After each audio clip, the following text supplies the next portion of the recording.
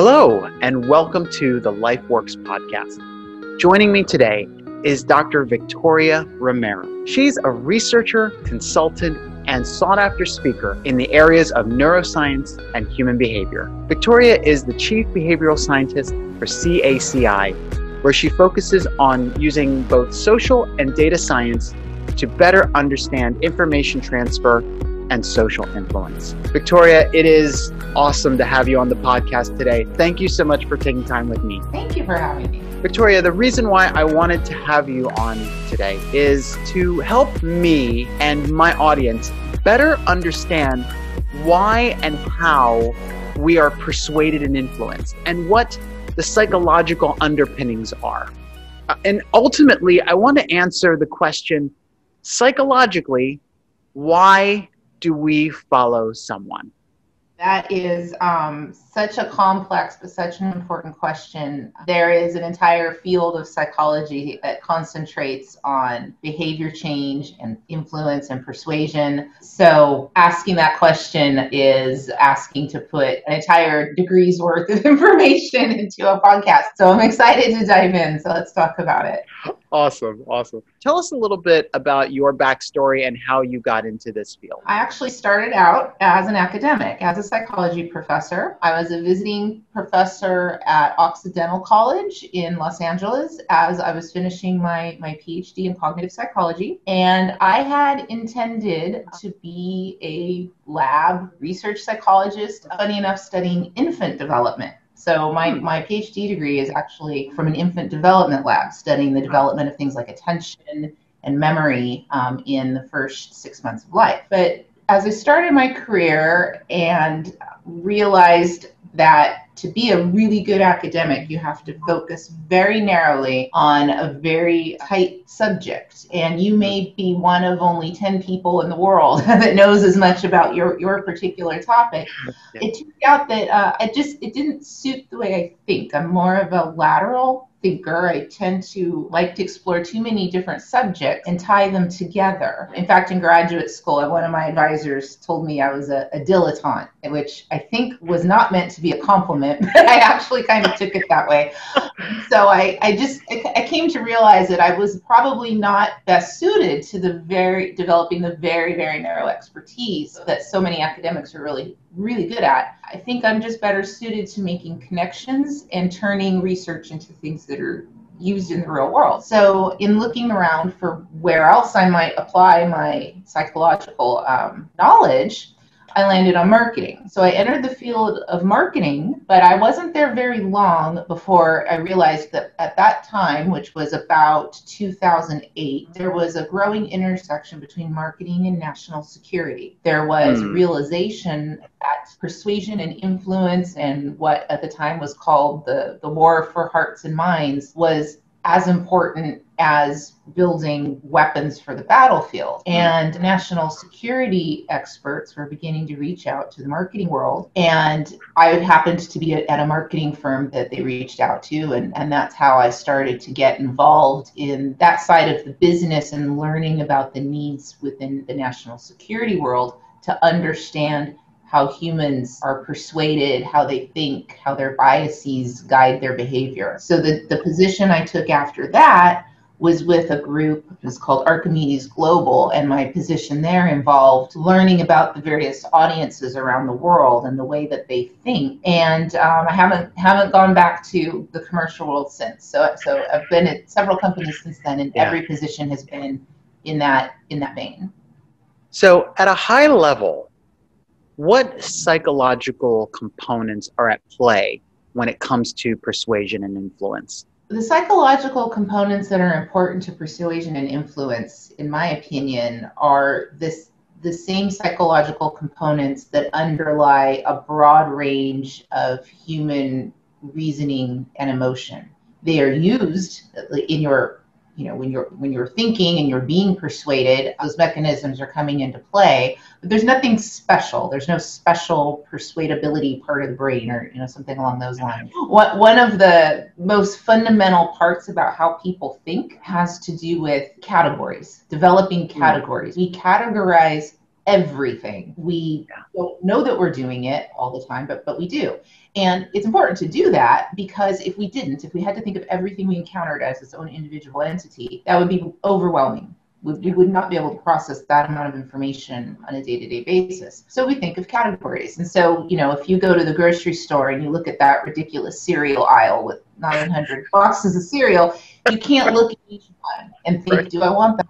Or no. So you've got categories, and we may have different categories, but right. you know, in my mind, I might have healthy and unhealthy, and then mm-hmm. under healthy, I might have like taste okay, taste like a bowl of you know nuts I collected in the yard, and you know, so I mean, right. and you kind of go down, and it's only when you get to a small enough category that you actually think of the various elements inside of it that you're you're down to individual entities. But we do that with everything. We do it with people. We do it with ideas. You know, ideas. If you look at the American landscape right now, ideas are liberal or they're conservative. You can get a little further down. If they're liberal, they're more like traditional liberal or they're progressive. You know, but we we assign ideas, people, everything to these categories. And once we've done that, we stop seeing all the nuance and the details of the individual ideas and the individual people and we just kind of assign to them all the qualities of the category that they've been assigned to. And that's a really powerful influence on, on the way that we think and perceive. It, it influences what information we choose to take in. It influences what what we remember about a piece of information or an idea. We tend to fill in gaps with stuff that fits the category that we assigned it to. We tend to mm-hmm. forget the little details that don't fit the category we've assigned it to. And all of this ends up making the category even stronger. It's a oh. self perpetuating cycle.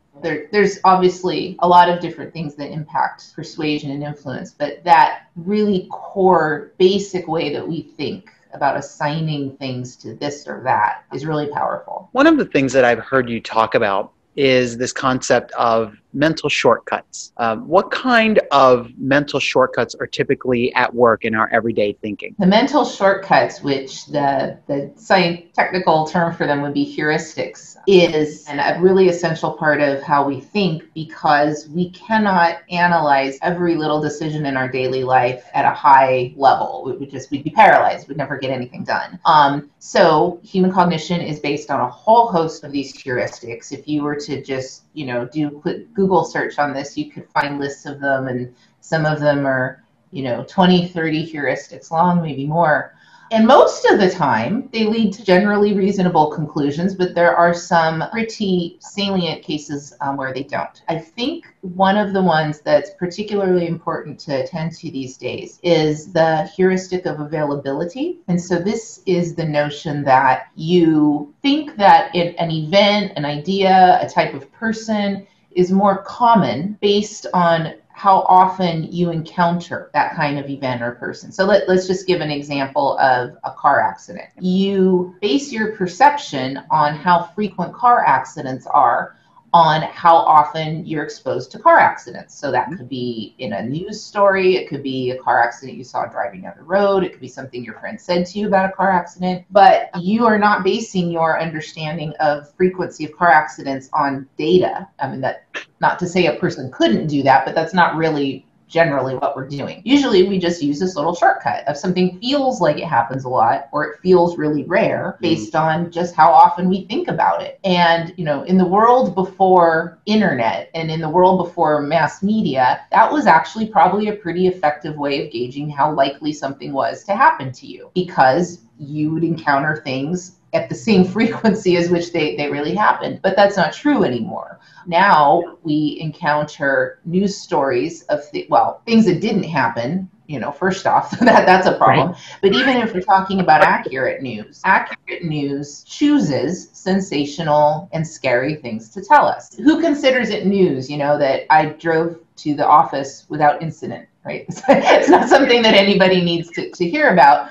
So we hear about scary things and we hear about bad things much more often than they occur, completely out of mm-hmm. balance in terms of how often we hear about those things versus non-occurrences and, and safe good outcomes Yeah. and so Yeah. that has the impact of dramatically skewing our, our perception of the likelihood of things so this impacts things like our concern over something like being the victim of a, of a terrorist attack Mhm. that's frightening it's a terrible thought extremely unlikely you were far far far more likely to fall in your bathroom and Mm. die from that than you are Right. to, to be in a in a terrorist attack but nobody walks around fearing that and, and it just has to do with the fact that you don't see constant news coverage of people falling in their own bathrooms at home and so um, this is Right. you know so, th- so this really turns our perception of risk on its head and, and makes it Hmm. quite difficult when it comes to things that are risky but are not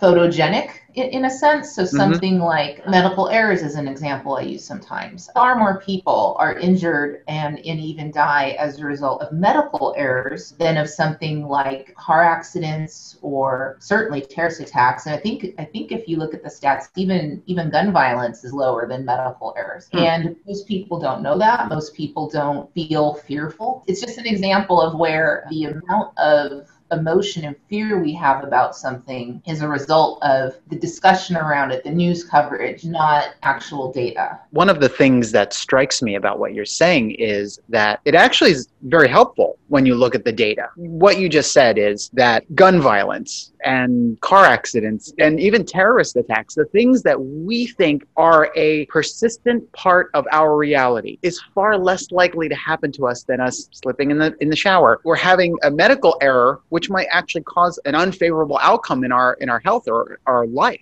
actually. What you're saying is a good counterbalance to the extremes that we really get in the in the media. So really, really well put. Thank you for sharing that. Another question that I have is actually related to biases. What are some of the mm-hmm. biases that we have that are sort of with us on a, a fairly consistent basis? One of the biases that is direct result of that categorization Mhm. inclination that I mentioned earlier is the in group out group bias. I think most people are already aware of this. You prefer members of your in group, in group being people you think of like you. But I don't know if most people know how deep that runs and, and Hmm. how far that goes and, and how much it influences us. It is probably uh, something that humans have developed since the days when we lived in small tribes. And in my opinion, not something that we're going to be able to erase. Everybody does it, whether you think you do or not. Absolutely everybody does it. It's actually a little bit more dangerous, I think, when people don't recognize that they're doing it. But it's not just a matter of liking people more or less, it extends further than that. One of the things that I've encountered that I find unfortunate but true about, about humans is that when it comes to in groups and out groups, we distribute our empathy a lot differently, right? So we Hmm. find it much easier to be empathetic to folks within our in group. We find it a lot more difficult to extend empathy to people outside of what we consider our in group. Now, there is hope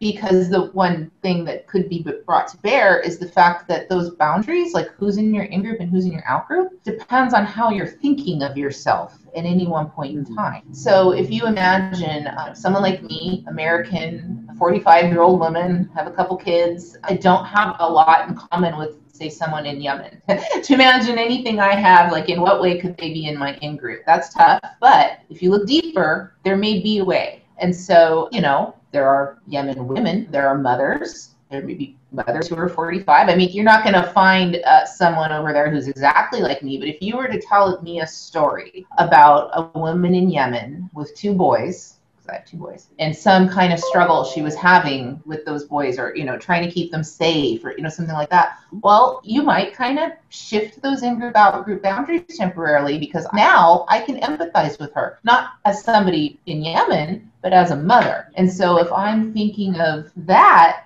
then she's in my in group, and maybe all the non parents, American and otherwise, are now the out group. And so Yeah. That is one way, I don't know if I'd say to counter that the in group out group bias. It's not, you can't get rid of it. It's more, you have to think of ways to work with it. And I, I think that's the case for a lot of our human cognitive biases. They are, in some cases, so deeply ingrained that it is mm. it's not useless to educate people about them because I think it is good to understand the effect that they have on our thinking. But I do think that it might be um, a stretch to imagine that people can stop having these biases, that they can just correct the bias. I, I think that a better tact is to work with them, sort of a martial arts angle on that. Instead of trying to just take a bias head on and eliminate it, consider it, understand how it works, and think about ways that you can advance better messaging, better outcomes by working with them. How do we develop biases? That, that's an excellent question. So, something like the in group outgroup bias, I think comes directly from our categorization, which I think this is a place where research academic psychologists will disagree. You've got some folks who have this sort of tabula rasa point of view that people arrive in the world as, as a blank slate and everything is learned. There are other folks who believe that we arrive in the world with minds that already work in certain ways, that we have mm. evolved over time to have minds that work in certain ways. Now, we're not going to evolve to have a prejudice against a particular group of people, but we might have evolved to have the inclination, like to be mm. like kind of preset to build prejudices. Mm-hmm. You know, mm-hmm. that, that might be how, how people evolved. And without taking a stand on whether that is something that we've evolved or if it's something that originates, you know, during our lifetime through the experience and the environment, it does seem to be there very early. See, as I mentioned earlier, I actually started my career in studying um, infant research. And so I can tell you, but by the age of six months, babies already have visual preferences for certain kinds of people. And hmm. so that may come from their experience. They've spent six months looking at people. That's not, you know, that's not nothing. And they will see certain kinds of people more often than others. And it very well may be due to experience, but nonetheless, it's already there by six months. So, wow. um, something about that kind of bias that either is built into us or is so core to our development that anybody around the world develops it very early on. If you want to come up with a more concrete analogy, something like walking, it's very rare a person doesn't learn to walk. If somebody doesn't learn to walk, something has gone uh, wrong in development, you might say the same thing that you, for example, you cannot learn to speak if you can't categorize. Categorization mm-hmm. has to come first. And so it may be that things like, you know, a racial prejudice is an undesired byproduct of the fact that we rely on categorization, but mm-hmm. categorization mm-hmm. is absolutely essential. We wouldn't be able to to think if we couldn't do that. What role does emotion play in persuasion and influence? That's an excellent question that I don't like the answer to.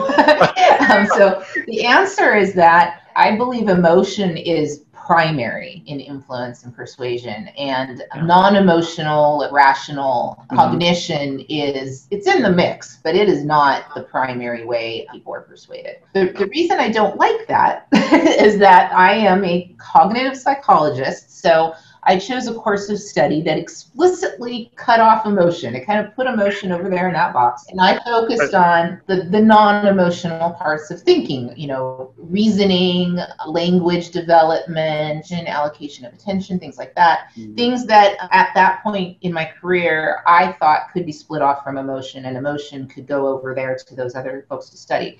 Mm. Um, I have since then changed my mind about that, and I believe that emotion is integral to all parts of thinking. You, you can't really pull it apart, mm. despite the fact that that may be the way that textbooks are written, but it doesn't work that way in the wild, in actual acting thinking people. And in many cases, I'd say more often than not, we arrive at our opinions and beliefs via emotion, and then we bring the, the reason in as a justification it tends to more often be the way that we're explaining to ourselves why we feel a certain way. It's not so much the true reason we feel that way, it's it's kind of the little layer on top that we use to explain it to ourselves and to other people. Now, that's not to say reasoning is never involved, it is, but in order to convince somebody of something through reason, through non emotional, factual argument, you have to have several things. First of all, you have to have an audience that cares about the topic. And you have to have an audience that cares about the topic because thinking at that level takes some effort. Mm-hmm. And so they have to not only care about the topic, they then also have to have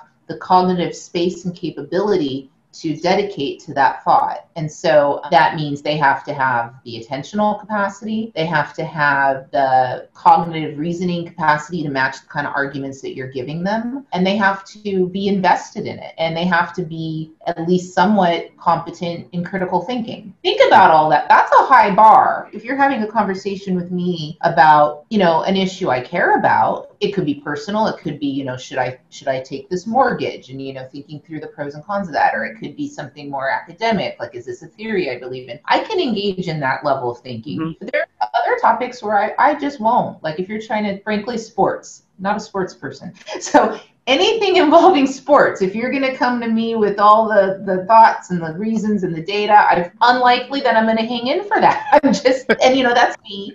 And, you know, just go back to that, that grocery store example. You're not going to do that. You're not going to sit and study every label on every cereal box and think about okay well this one says it has fiber. Let me think about the data on fiber. I mean you're just not going to do that. You might do it for a couple things in the grocery store. People will do it for a lot of things in the grocery store but a lot of people won't do it at all. And these may be people that care very much about something else. They just don't care about fiber. And so the times when you can get people to that level of attention and that level of cognitive engagement that's fantastic. And then you do have a very good chance of getting some really solid probably fairly permanent persuasion. But the, mm. thing is that that's not usually the case. Usually, you've got people scrolling over their device, looking at little headlines for a second or two if you're lucky. You've got people listening to something is on the radio in the background while they're talking to somebody else. It's not the case that most persuasion is happening in that high engagement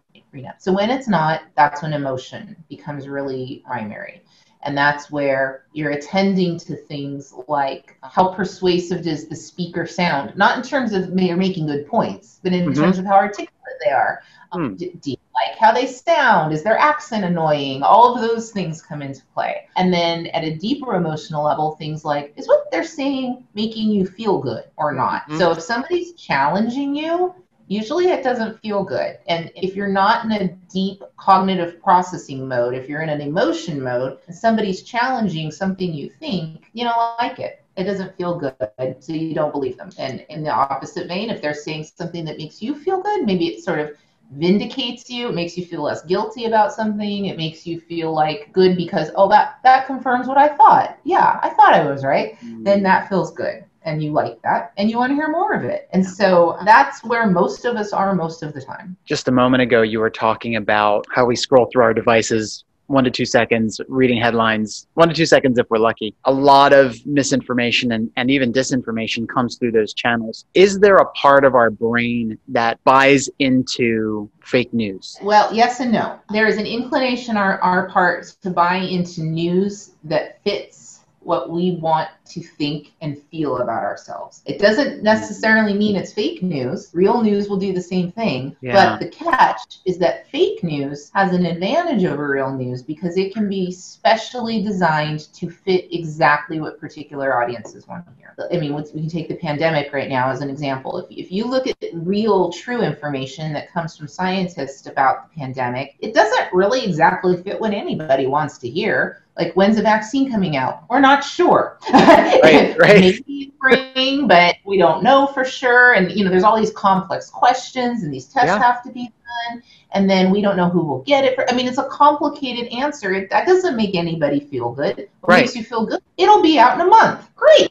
I like that. so, um, you know, if you're developing fake news, you have a big advantage over real news because you can make it exactly what people want to hear. You can make it fit what people think already, so you can mm-hmm. reinforce their existing beliefs. If you know that they have a suspicion, like if you're trying to get them to dislike somebody else and you know they have a little hint of a suspicion there, you can just give them exactly what would pull you know pull that suspicion up and um, reinforce it. And the real news the truth is just not ever that simple. So a, a bunch of complicated well maybe this or maybe that but you have to consider this. And that you know that's that's what real news really is most of the time and that doesn't fit it, it doesn't hit the emotional button. Right. it doesn't hit the the notion of feeling clear and easy. It's sounds like, oh, I'm going to have to really think about this if I want to understand it. And I don't feel like it. so mm-hmm. I don't pay as much attention to it.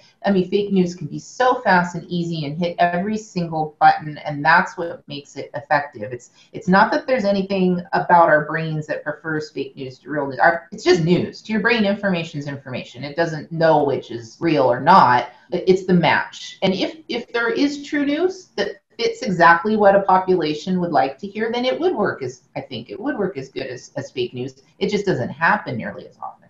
What role does memory play in persuasion and influence? One of the things that we've learned about memory is that it is not some indelible record in your mind. We have this idea that an event happens and we create a memory of it, and then it gets filed away. And when you want to think about it again, you pull it out and you look at it. I think most people who study memory would say that that isn't really what happens. You actually recreate the memory every time you think about it. So you are constantly rewriting your own memory. We know that memories change over time. We are not particularly good judges of the accuracy of our own memories. We also know that they tend they change in predictable ways. They don't just they don't change randomly. They change in ways that conform to your schemas, your, pre-existing beliefs about things. There was a lot of research, and it's still ongoing, but there was a lot of research in the 80s and 90s on the phenomena of false memory and repressed memory. So there was um, concern that there may be memories that people have repressed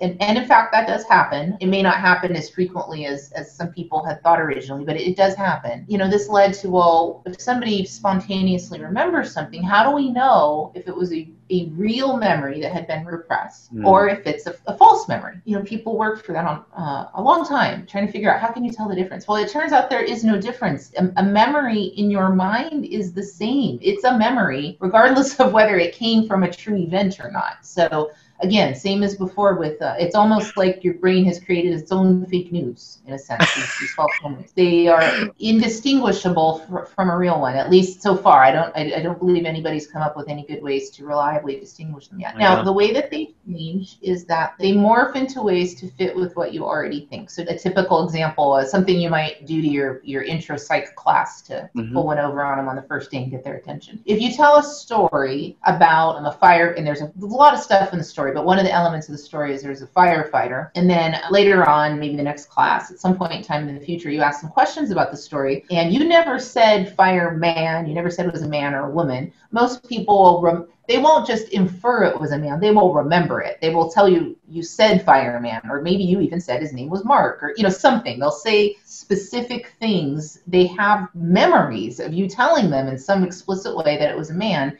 and you didn't and you know you didn't and not every student will do that in a class, but it's very rare to have somebody falsely remember it was a female. So it, lots of people will not will remember that you didn't say. That's fine. Some people will mistakenly remember it was a man. Nobody will remember it was a woman because that is not a typical schema that people have for firefighters. So mm-hmm. you don't fill it in randomly. You fill it in with things that fit what you already think. So mm-hmm. if you think about things in the news cycle then nowadays, so if you hear a story about about a particular politician or a particular event, and there are some details that are either left out, they're unknown, or maybe you truly for, they, they were in there but you forget them, and you fill them back in. You don't fill them in randomly. You fill them in with what you think makes sense given the context. So mm-hmm. if, an, a, if a staunch Republican and a staunch Democrat hear the same story and, and there's some gaps, they're not going to fill those gaps in in the same way, yeah. and they're both going to really remember, like really feel like they remembered the, um, the specific facts that they in fact had filled in. Everybody does this, it's pervasive.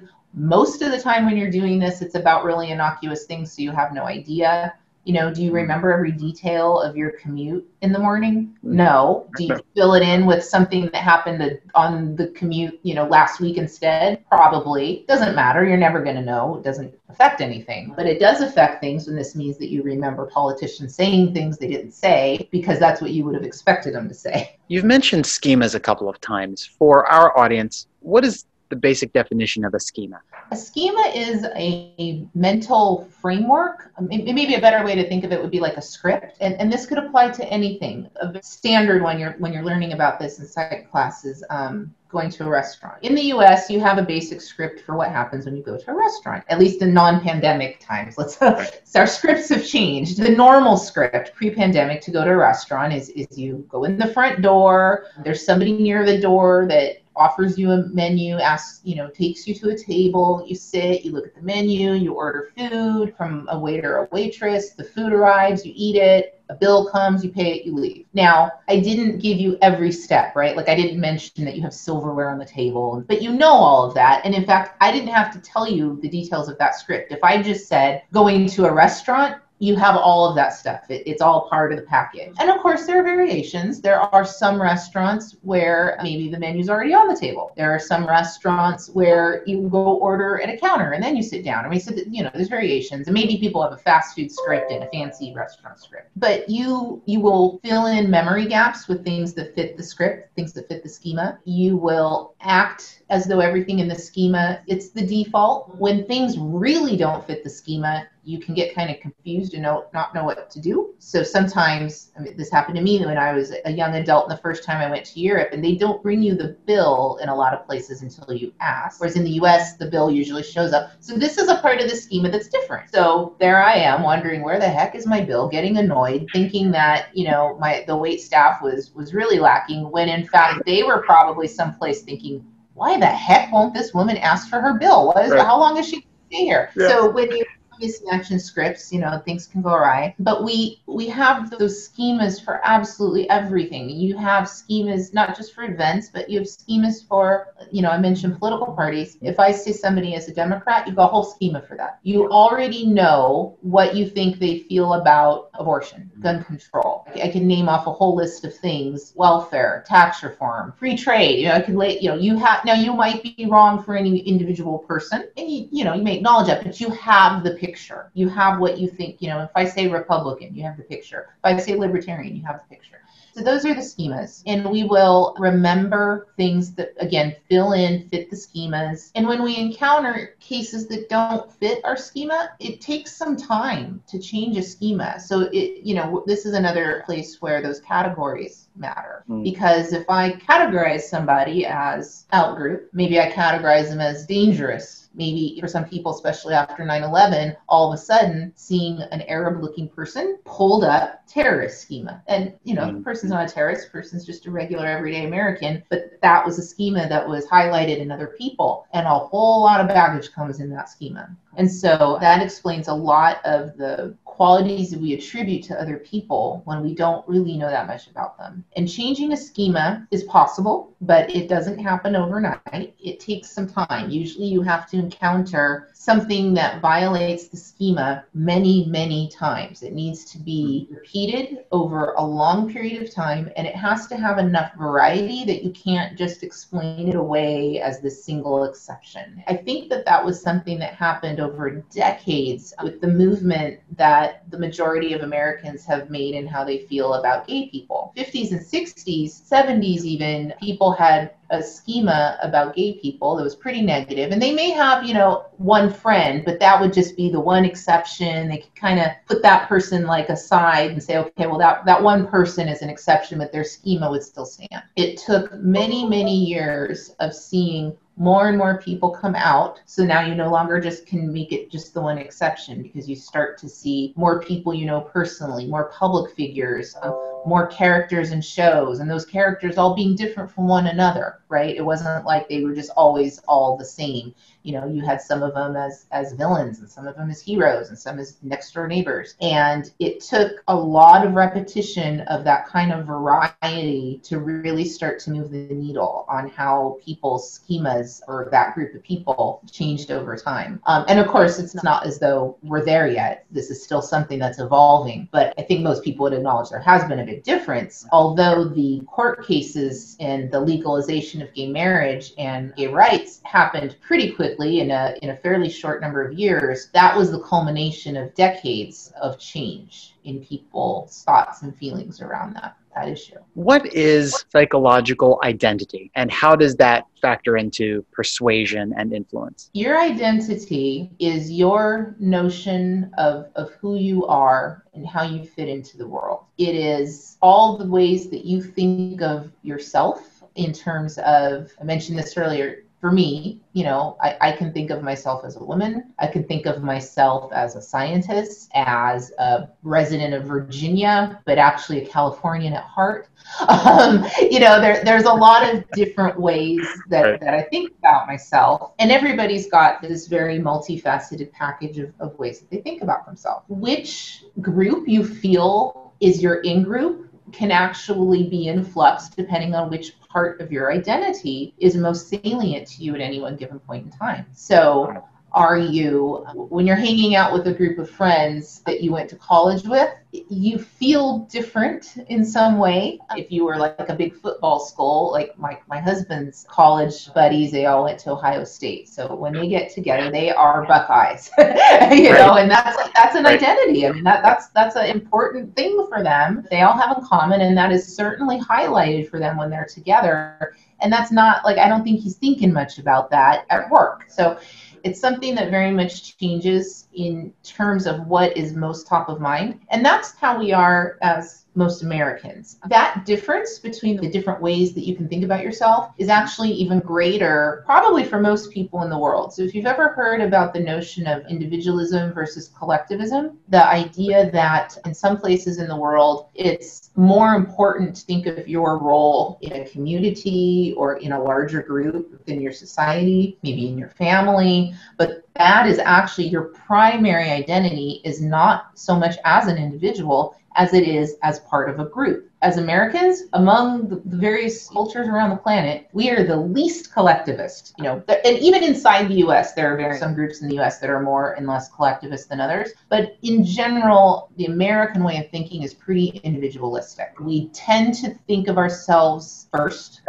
we prioritize ourselves first, and we think of pretty small units in terms of our identities. So everything I just mentioned about the different ways that we think of ourselves in different circumstances is even greater for those collectivist groups because for an American, even when you're thinking of yourself, you know, as a Buckeye or as a scientist or, you know, the various things, you're still you. There's still a core you that's yeah. there. And that core individual persona is weaker. It's less salient in more collectivist cultures, and the group's mm. group identities are stronger for them than they are for us. That's important when you're thinking about how you're communicating to people, the kinds of messages that you want to deliver. And this is where there's a big disconnect between how we message out and how other people receive the messages. When we message out, and we're trying to promote a person's own individual sort of self preservation, that is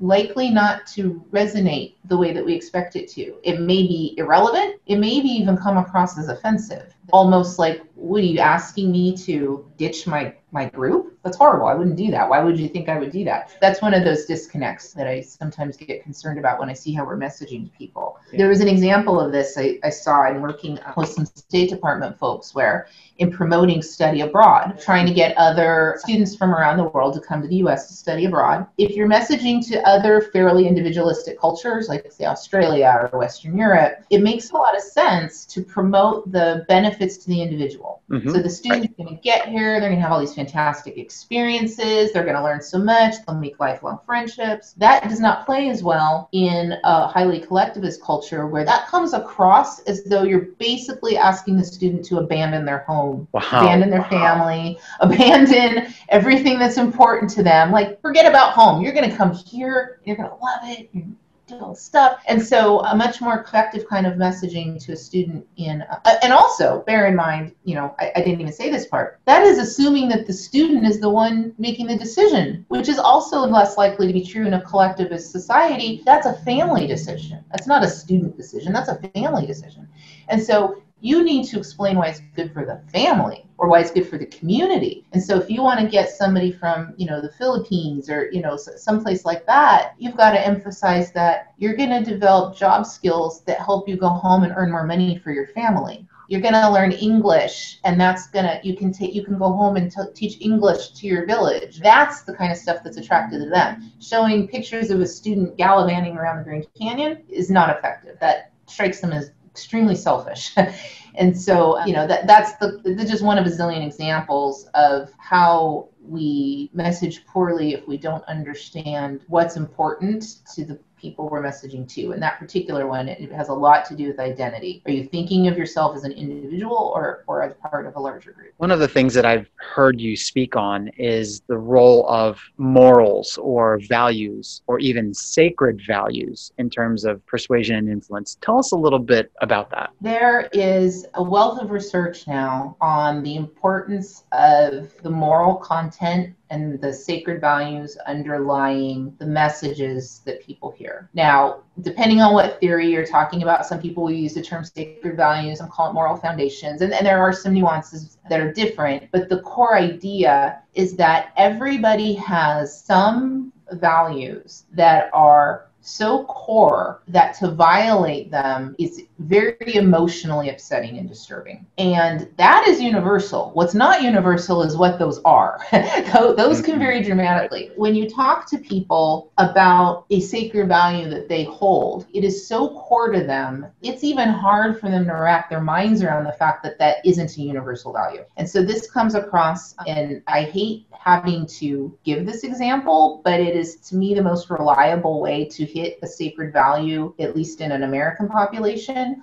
Most Americans have a sacred value around protecting children and specifically around not engaging in sexual activity of any kind involving children. You know, so mm-hmm. against pedophilia basically. And that's like when I talk about this, I don't even like I even put up more explicit stuff in the class because I want people to be like, oh, and, and, by the way, for the podcast listeners, I don't mean explicit. That came that came across badly, not like a picture or something, but just a statement of endorsing. And people grimace. People get a bad look on their face. And I don't even like saying it. Like it gives me an awful idea to even bring up this topic. And that's, I mean, you probably see it on my face right now. And that's how you know that you've hit a sacred value because people feel anger and disgust. And disgust in particular. You know, back to that conversation earlier about the emotion versus reason. There's no reason here. I mean, this is a very good case of where you may so- apply some reason on top of it, but your reaction is emotional. Your reaction is mm-hmm. gross, ew, right. awful, wrong, bad. And to poke it even further, I can do things like, and you know, you'll, they'll do this in labs, ask you things like, well, how much money would I have to give you to get you to change your mind? And if, mm-hmm. if mm. we're talking about a value that is not such a deeply held sacred value, you may give me a number. or you may say, no, I, I mean, I really feel strongly about that. I don't think I don't think you'd be able to change my mind. That's not what people say about pedophilia. Mm-hmm. You tell people how much money do I have to give you to change your mind about pedophilia? They're like, what the hell's wrong with you? I'm not not why would you ask me that? Right you know that, that's not even on the table. And and now on top of it i don't like you. Because yeah, why yeah. something wrong with you for even offering something like that. So that's that's just a completely different level of reaction than just a issue that we disagree about, right? And another thing that that happens, as I mentioned, is often when I say this in classes where people don't have a knowledge about um, some other cultures in the world, and they'll say, "But everybody thinks that, isn't that like inborn?" And it's not. And I, I hate to tell people if, if they don't know this already, but there are absolutely are cultures in the world where that is not a, a commonly held sacred value, and that is really hard for us to wrap our heads around. And if you want another example, I might say honor killing. You know, could, could hmm. maybe fall in this this category. So, you know, for most Americans, regardless of how upset you got with your child, you would lay down your life for them. Like you would do anything to protect your kid. And the idea of killing your own child is so far outside of any, no justification for that, no matter what. Absolutely. And yet there are many, many people in the world who find that a completely legitimate thing to do. And why is that? Because they have a different sacred value. They have a sacred value attached to honor that we don't have. And they don't get it when they think about us.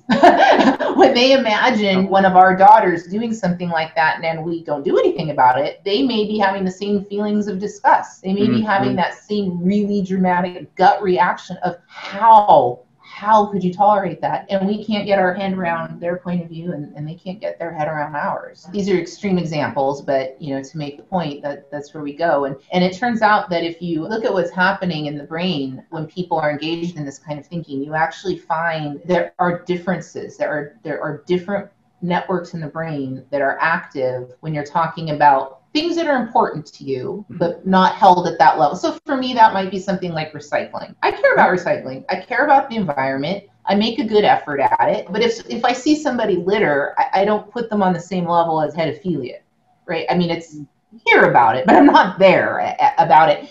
And so, um, if you put me in a in an MRI and you ask me questions around these two topics, you would find that in talking about recycling and, and, climate change and things like that, the parts of my brain that are active, there's some emotional activity, but there's also some activity related to decision making and rational reasoning, some frontal lobe stuff going on there, some some thought. But if you put me in the scanner and you start asking me these sacred value questions like about honor killing or you know um, pedophilia, the the thinking parts of the brain actually become less active active.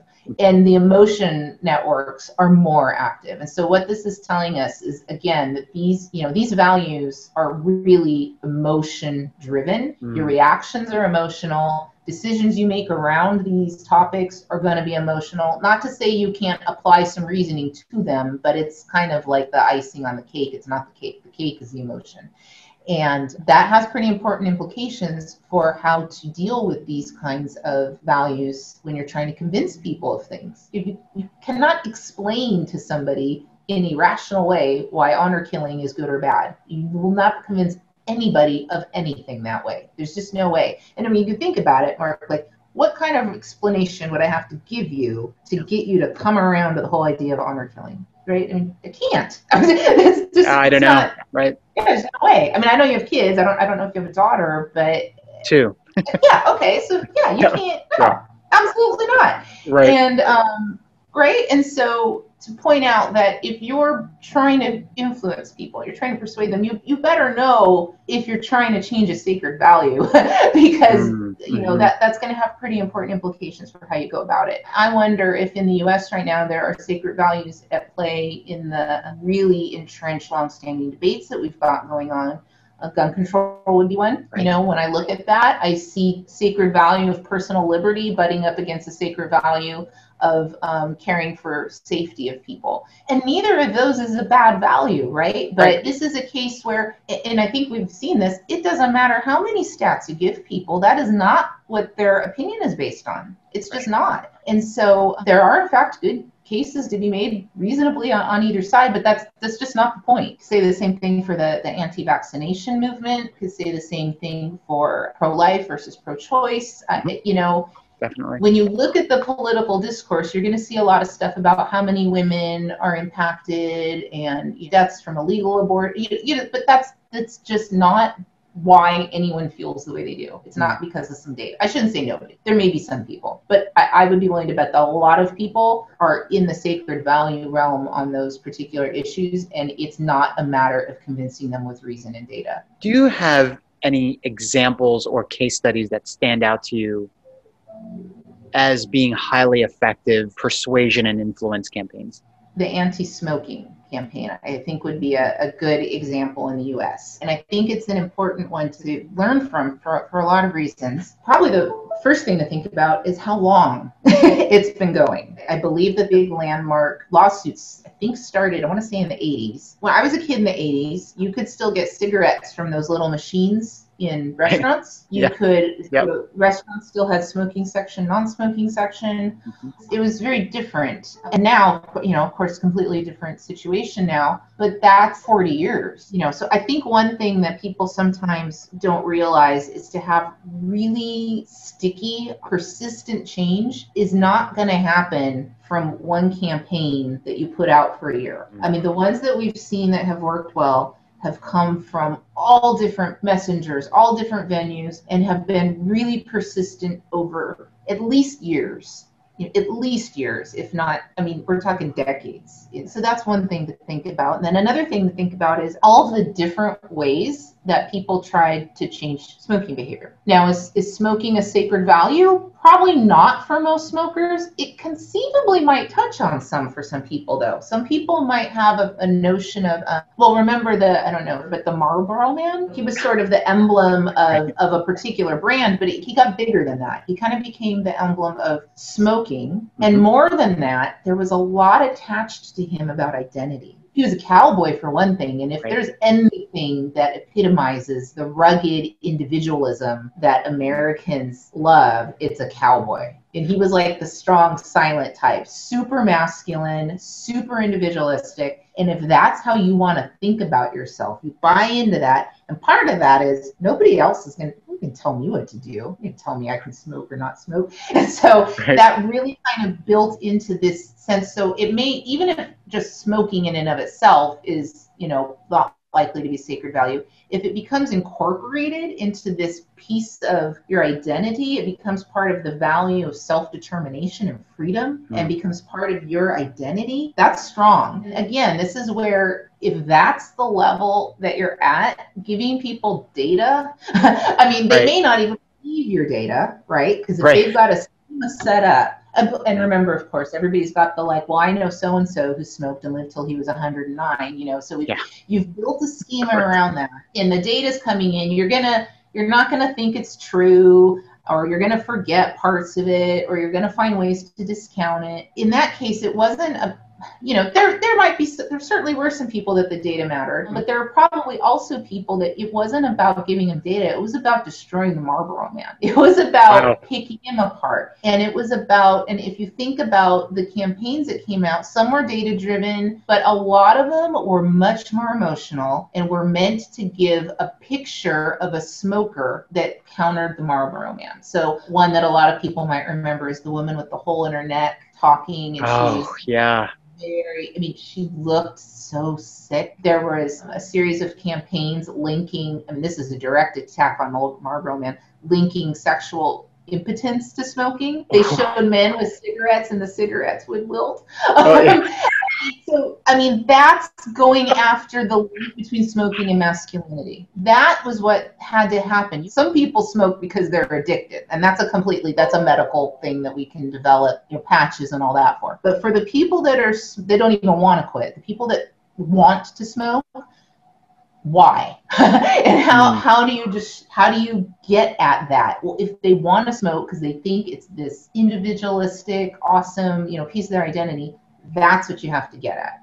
Mm. And so that was that one was effective, and then the other one that was very effective was um, specifically targeted at youth as part of the Truth campaign. And this is one of the more recent ones. In that part of the campaign, they were talking specifically to younger people and characterizing the tobacco industry. So now we're we're away from the Marlboro man. I think he's kind of been ruined, and now we've got the notion that there's these bad guys, the tobacco industry and they are coming for you. They just want your money and mm. they'll kill you to get it. And by making them sort of, if you ever saw pictures of the people that were the face of the tobacco industry, they're old white men. And so they're they're basically trying to set up an us versus them, with the youth being the us and the old, you know, the man, the people that the youth already just kind of naturally don't like. Yeah. That's the tobacco industry. And so in that case, they want the youth to feel like I'm not going to be a sucker for these guys. And so that's taking advantage of the in-group out-group thing. So I, that wasn't a case with the other ones I just mentioned, but for this one, it absolutely is. You're setting up an in-group out-group. That's them. They're bad. They don't care about us. I don't trust them. And therefore, I don't trust their products. I don't trust anything they say about them and building this really antagonistic relationship between the would-be smoker and the the bad guys, the, the tobacco industry. So, and I think that one's been pretty effective too. And so smoking rates in the U.S. are much much lower. You know, obviously some people still smoke, but if you've traveled at all, especially to Asia, you'll see huge differences. It's amazing um, now that we don't have smoking allowed in so many places. It's always a shock maybe go back to walking in the room. Oh my God, there's smoke. but, um, yeah. So I mean, I think I think that that would be one example of, of something. But again, it took a lot of different tacks. It took a long time and it took a deep understanding and it took emotion driven campaigns. Is there a way for us to test or assess in any way how influenceable we are? Yeah, I can think of some kinds of measures. For example, there is a, we, we talked about false memory a little while ago. Um, some people are more prone to them than others. And so people who are more prone um, to developing false memories, um, we would say that they are more suggestible. It's like a sliding scale. It's not like you are or aren't suggestible. It's, right. you know, there's more shades of gray in there. But the, the more suggestible you are, the, the easier your scripts and schemas change. And the, the more likely you are to misremember facts or not remember where a piece of information came from. Now, what I would caution you against though is that I'm not so sure. I think that there is an element of individual difference. I do think some mm-hmm. people are more suggestible than others, but I think that there's also so many different variables that are affecting an individual's suggestibility at any, any one point in time. I'm not sure that I would take like your suggestibility score. I don't really know how much that would tell me, and I'll, I'll tell you yeah. why. One thing is people become more suggestible as they get older, mm. so that actually, yeah, it's actually there. There's pretty good evidence that not in the not in the earlier decades. Like there's not much of a difference between like a 30 year old and a 40 year old. But but in say 60 up, the older you are, the more likely you are to endorse false news. Disinformation mm. has a greater impact on older people than on younger people. Um, we don't know yet whether that's because you got old or because those people grew up in a time when the news could be trusted. That's something that honestly we're not going to probably know for another 30 years because we're going to have to wait for today's you know younger people to get old before we're able to right. test something like that. Right. Um, but I can tell you there are other bits of evidence that suggest that older people become more suggestible it has to do with um, they become less able to inhibit, and this happens to everybody. This is not a knock against older people. It's just something that happens in aging to our brains. Mm. We are less able to inhibit thought in general. This actually is related to why older people have more tip of the tongue phenomena, while they mm. they tend to tell longer stories. It's just the nature of what happens to your brain in aging. And part of that may be that they are not able to inhibit the processing of information as though it's it's all true and real. Um, but like I said, caveat: we don't really know why yet. We just know that that is an age group that is at greater risk for disinformation effects.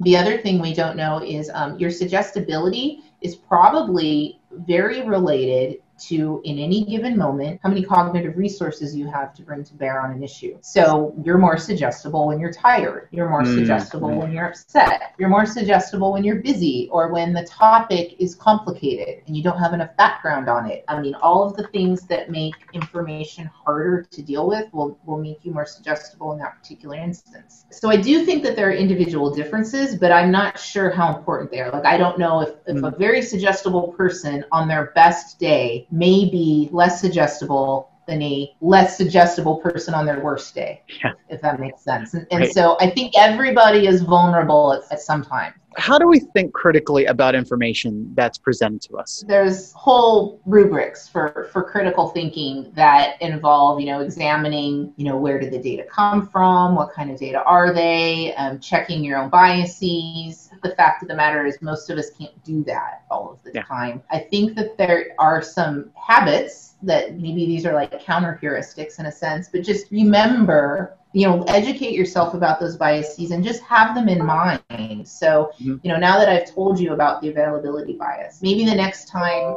you are listening to the news and you're hearing about this terrible thing that happened in belgium or something and you know someplace far away and you can kind of think to yourself, well, now there's an example of a thing that is probably super rare, and yet I'm hearing mm-hmm. about it. And I wonder what other things happened today that I didn't hear about. I mean, it's not obviously you know, can do this all the time, but it's just an awareness, I think, so that it, will not erase your bias. It will not correct it, but, but by remembering it exists, it might help you take that extra step. Mm-hmm. So if you become fearful or you know are concerned about should I go on a trip to Belgium now, and you're thinking about that awful thing. Well, remember that the availability bias might have come into play. So now you can like, you know, hop online, look at what the State Department has to say to travel to Belgium and look at it and say, oh, actually, it looks like it's fine. And that was just that right. this one incident that could have happened anywhere. It, it could have happened a block over.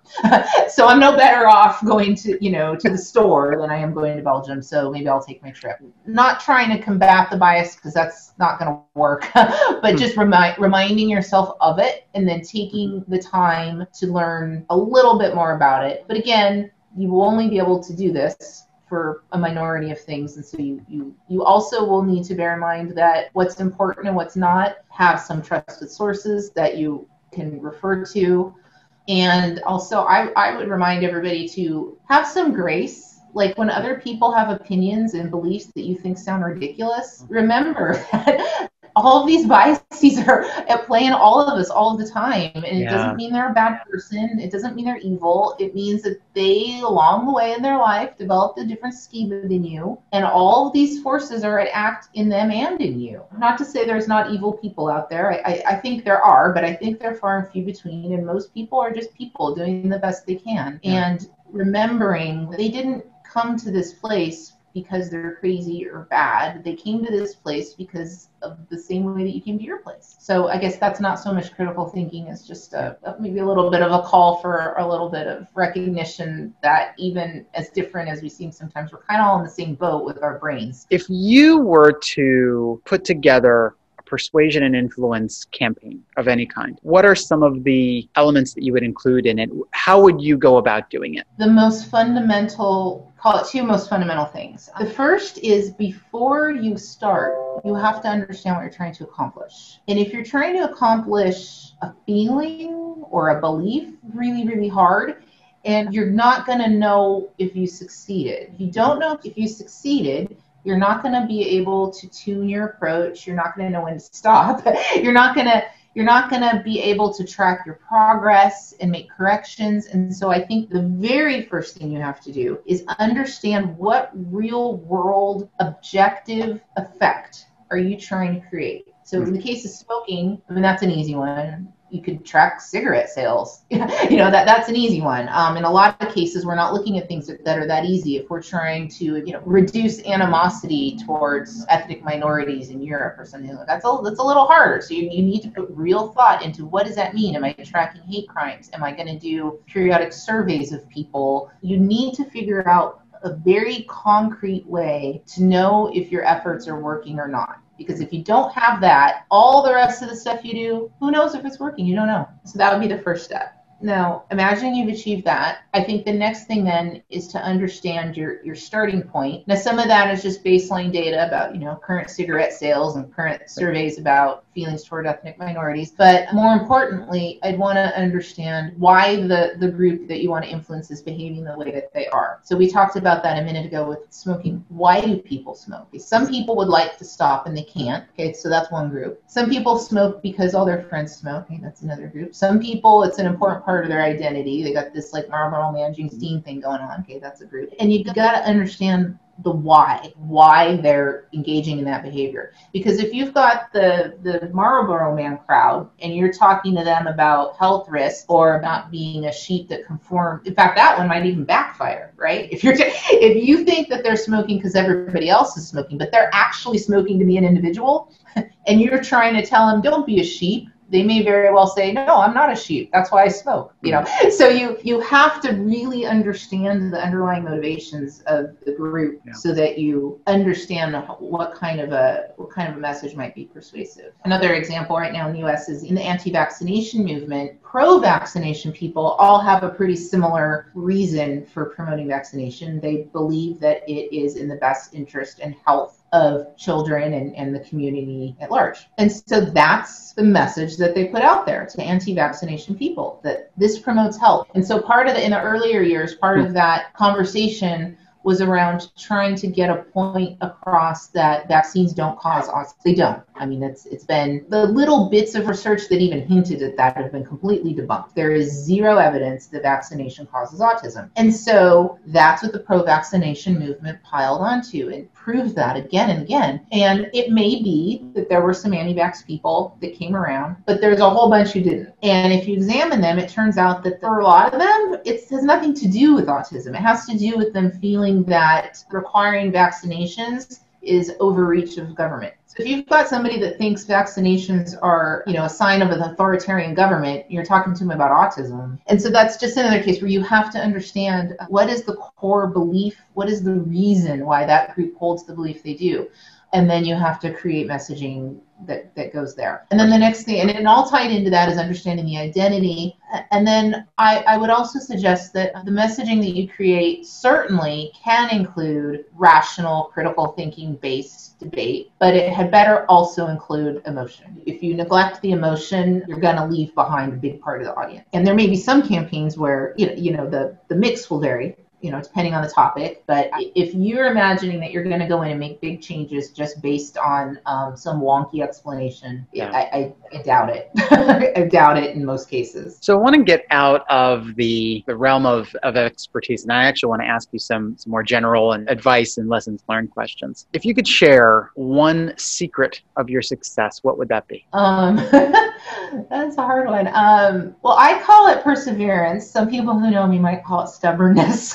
it depends on on who you ask, but I, I do tend to get perversely more motivated the more difficult something is. Um, mm. This is attracted me, I think, to to a lot of the work that I do with DARPA, the defense organization that is specifically tasked with doing the most moonshot, difficult research out there. Awesome. DARPA is made to do the research that any other organization would think was like that'll never work. That's crazy. Mm-hmm. and so, yeah. and I love that. I yeah, love that yeah. notion of like that. You know, this is the stuff that other people think we're a little bit crazy trying to do. And so, um, good. Yeah, the harder it is, the more excited I get about it. Um, which I think does two things. One, it keeps me on the problem until I until I make some progress. But two, it also puts me in a space where a lot of people, you know, a self-selected group. A lot of the people already got scared off, so I don't have as much competition. right. I get that. I get that. What is the greatest lesson that you've learned, either in life or in business? I think this applies both to the work that I do as as well as life. Role of emotion.